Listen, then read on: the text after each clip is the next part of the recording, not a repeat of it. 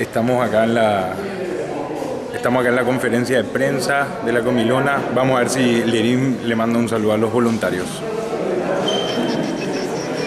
Hola, soy Lerín Franco. Bueno, les quiero mandar un beso súper grande a todos los voluntarios de la Comilona.